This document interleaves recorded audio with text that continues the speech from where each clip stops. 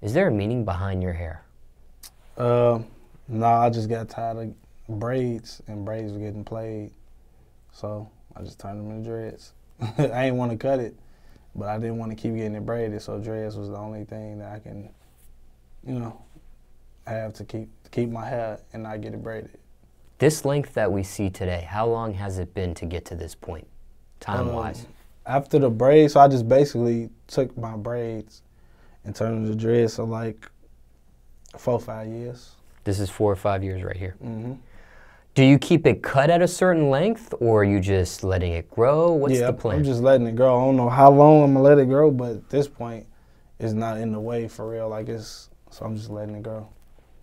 Is there a pet peeve with the locks? Anything that bothers you that you cannot stand when it comes to the locks? Yeah, I just be having to put them in a ponytail when I'm shooting because it can get in the lens and in the way. Like when I bend down like this, it's like basically covering up everything. So just put them in a ponytail for real. What's something you've done to your hair? Mm. And I don't know if the braids fits this question or not, but what's something you've done to your hair you'll never do again?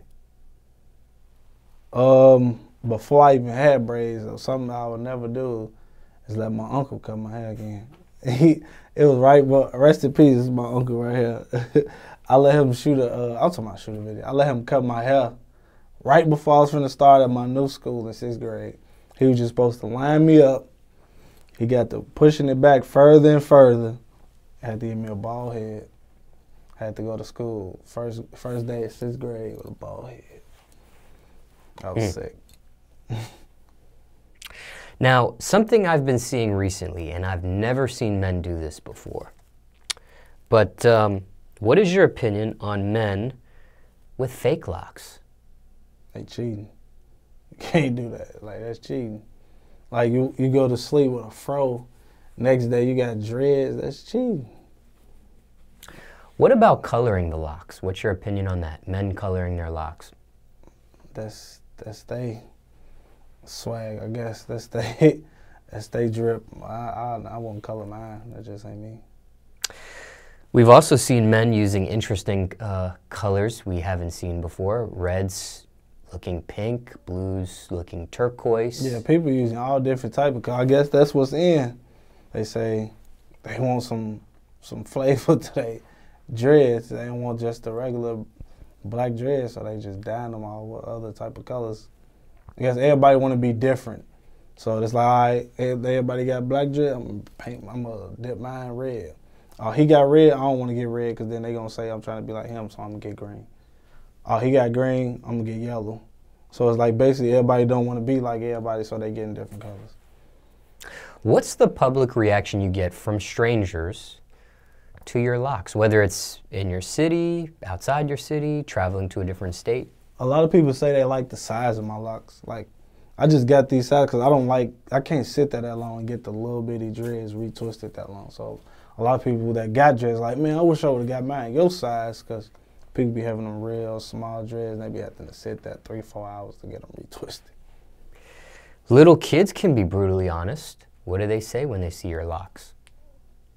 Um, nothing for real. They, they don't have nothing to say. But yeah, little kids definitely gonna tell you what it is and if they don't like it or whatever. But yeah, I ain't never had no little kid tell me nothing. What about women? Do you notice a certain type of women that are attracted to you or not attracted to you since you've had the locks? Uh, no, I think it's all about the same. I think they, they like them, especially now that they're getting longer. You know, some women don't like when you got the little short Mm. dress. They hate the little the start off fade. But mine was never really like on the head type short because, like I said, I had braids, so I had long hair already. So they was probably like up here somewhere. Sounds like you've had a uh, very positive um, response to your hair. I didn't hear anything negative in, in what we've just talked about, but do you feel like you've ever faced discrimination or stereotyping or profiling because of your locks?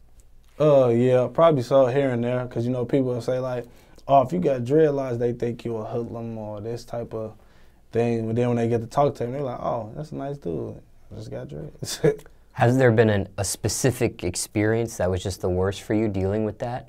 Or no, I've probably got like certain type of looks from people like, like, Like, let me watch my purse. He walking down the street with dreadlocks. Like, you know what I mean? But Mhm. not necessarily like a confrontation. Like, oh, you because you got them dreads and nothing like that. No, Never been bad enough where you felt like you needed to cut him.